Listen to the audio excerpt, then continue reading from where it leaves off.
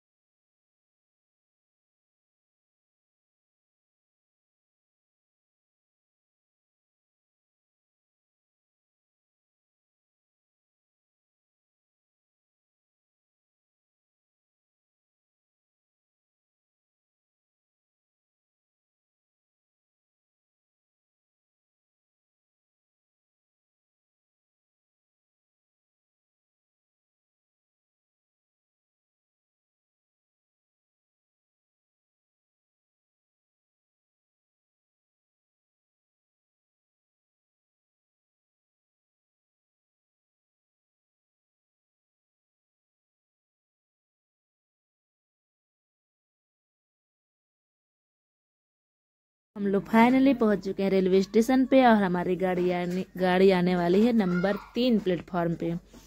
तो अभी हम लोग वेट करेंगे, साढ़े दस बजे की गाड़ी है। यहाँ पे देखिए बैठी हूँ। अब मुझे रात में बहुत ठंडी लग रही थी। यहाँ पे लड्डू मांग रहा है किट्टू तो मैं लड्डू देने लगी हूँ। ये सॉल मैं लेकर गई थी ना, मैं बस यही सॉल लेकर गई थी, कंबल वम्बल कुछ नहीं ली थी। मेरा भाई एक चादर लिया था, रात में बहुत ज़्यादा ठंडी लगने वाली है मुझे तब तो।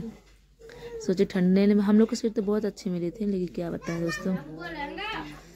यहाँ पे देखिए इसी प्लेटफार्म पे आएगी गाड़ी। हम लोग इसी का सब लोग इंतज़ार करें चंडीगढ़ जाने के लिए।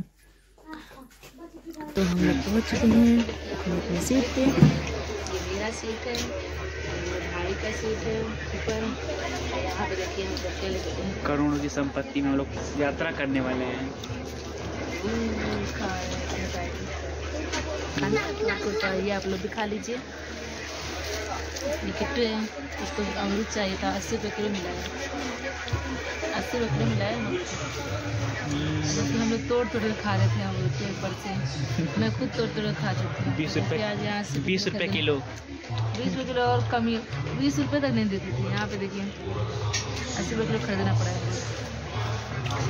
किट्टू किट्टू आधा खा गया। दोनों लोग दो खाया मैं तो आधा खाई हूँ। आधा से ज़्यादा खाई हूँ। अभी मोबाइल चार्ज पे लग गया।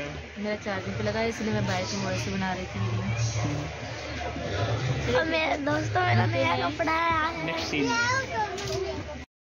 तो कि दोस्तों सुबह हो गया तो आप सभी के लिए प्यारा सा गुड मॉर्निंग मौसम देखिए कितना ख़राब है इतना ज़्यादा कोहरा गिरा हुआ है। ये देखिए अभी तो मैं मोबाइल चला रही थी इतनी ज़्यादा ठंड लग रही थी क्या आते हैं यहाँ किट्टू विधांश किट्टू सोया था विधांश जाग रहा था। यहाँ बहुत ज़्यादा शीत गिरा हुआ था। बहुत ज़्यादा ठंडी लग रही थी हम लोग को। बहुत ही ज़्यादा चादर लेकर गए थे, एक कंबल तो लेकर गए ही नहीं थे। मौसम देखिए, ऐसे ही पूरा दिन होने वाला लगता है, धूप नहीं निकलेगी। देखते हैं चंडीगढ़ में धूप निकलती है कि नहीं। बहुत ही ज़्यादा ठंडी पड़ रही है। आप लोग भी बच कर रहिएगा ठंडियों से। ठंडी से बच कर रहिएगा आप लोग। अब यहाँ पे हम लोग पहुँचने वाले हैं चंडीगढ़। ये है चंडीगढ़ रेलवे स्टेशन। देखिए चंडीगढ़ जंक्शन लिखा है। अभी स्लो चल रहा है। तो हम लोग पहुँचने वा- पहुँच गए हैं। धीरे धीरे अब गाड़ी रुकेगी। चंडीगढ़। यहाँ पे चंडीगढ़ जंक्शन। चंडीगढ़ से हम लोग ऑटो बुक करेंगे पंजाब जाने के लिए और पंजाब मतलब खरड़ जाने के लिए, वहाँ जाने के लिए। क्या बताएँ हम तो भूल गए थे कि किस रास्ते से जाना है। मतलब बाहर निकलने का रास्ता मुझे मिल ही नहीं रहा था। तो मैंने किसी से पूछा तब जाके।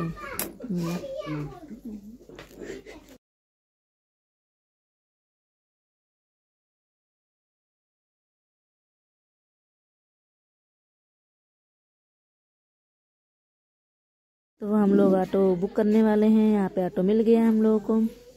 अब ऑटो से जाएँगे पंजाब। और आप लोग को मेरी वीडियो कैसा लगा, कमेंट में ज़रूर बताइएगा। तब तक के लिए बाय बाय जो लोग न्यू होंगे, मेरे चैनल को सब्सक्राइब कर लीजिएगा। लाइक भी, लाइक कर दीजिएगा, कमेंट कर दीजिएगा, शेयर कर दीजिएगा। बाय दोस्तों। Thank you